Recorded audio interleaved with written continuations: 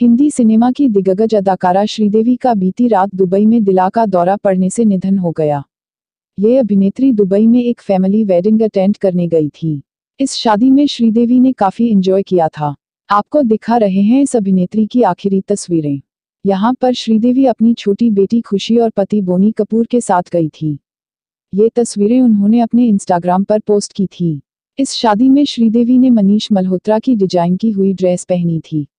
बेटी के साथ श्रीदेवी की ये तस्वीर खुद दुबई से मनीष मल्होत्रा ने पोस्ट की थी। अनिल कपूर, करण जौहर के साथ श्रीदेवी की ये तस्वीर भी उस शादी समारोह की ही है। यहाँ पर शादी के दिन दुल्हा और दुल्हन के साथ श्रीदेवी तस्वीर भी क्लिक कराई थी। साथ में पति बोनी कपूर भी मौजूद थे। साड़ी में श्रीदेवी की ये तस्वीर भी मनीष मल्होत्रा ने पोस्ट की थी।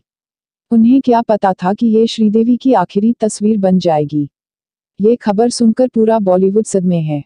जैसे ही उनके मौत की खबर मिली, सोशल मीडिया पर उनके फैंस को इस पर यकीन ही नहीं हो रहा।